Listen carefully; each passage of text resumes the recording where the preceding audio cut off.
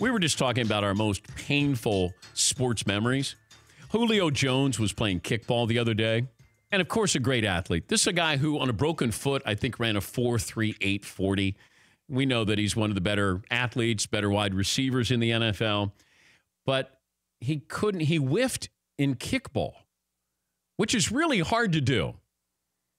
Even if you haven't played kickball before, I'm going to guess you still, I mean, it's a boulder rolling towards you. You should be able to get a, piece of it.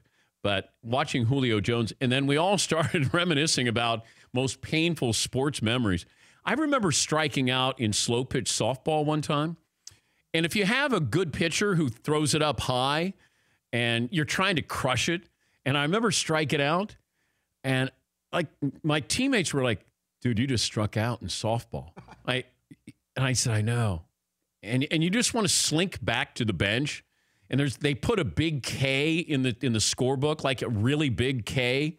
And then every time I came up after that, they go, okay, okay. And then I go, okay, I get it, man. I struck out in slow pitch softball.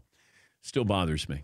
Yes, Seton. That same thing in gym class in middle school. They were doing a Miss Devlin. She'd throw it nice and high and soft, and I was like, "Oh man, I'm gonna get a hold of one of these things." Yeah. Three straight swings, one, two, three, went right down.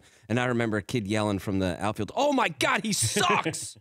she gave me one more fourth pitch that I did put back into play, but it was like embarrassing. Where I was like, "You got to give me another chance." Then you just want to get just make contact. Even a dribbler back to the mound.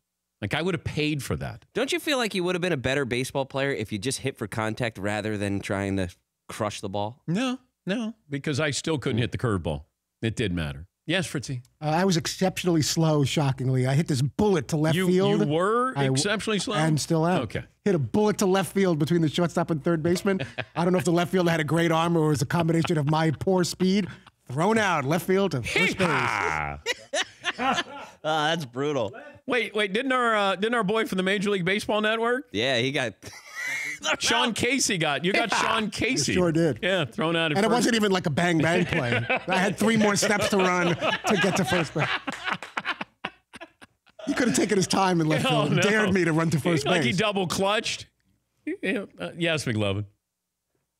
I one time I, I a very controversial call. I struck out looking in t-ball.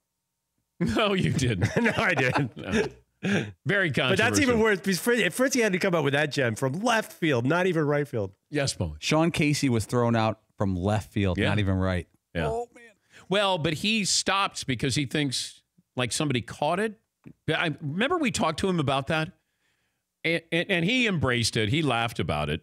He's not very fast to begin with, but he stops. I think halfway down the line and then starts to run again, and he gets he gets nailed at first base. For more Dan Patrick Show, tune to Audience Channel 239 on DirecTV or download the Dan Patrick Show app.